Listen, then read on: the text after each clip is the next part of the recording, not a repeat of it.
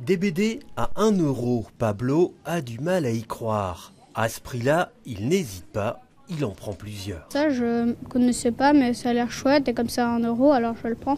Même réflexe pour ce bédifile qui en profite pour découvrir de nouvelles séries. J'en suis à 1, 2, 3, 4, 5. Et il paraît qu'il y a 12 titres, mais je vais, je vais découvrir. Ah, ça c'est excellent.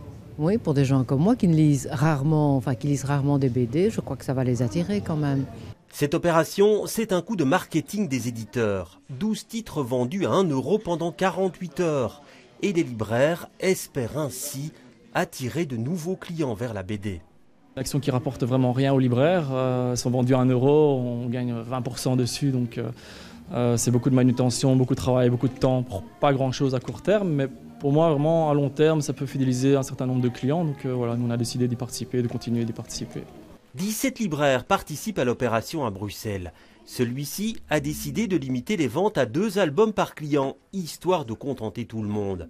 Lui aussi espère ainsi fidéliser une clientèle nouvelle, même s'il se pose des questions sur le bien fondé de l'opération. Il est clair qu'un euh, album de BD à produire, euh, ça ne coûte pas un euro. Le but euh, là est clairement de faire découvrir et d'amener un nouveau lectorat vers euh, la bande dessinée, mais euh, c'est sûr que ça, il y a un petit côté dévalorisant de, de l'objet bande dessinée avec ce prix-là.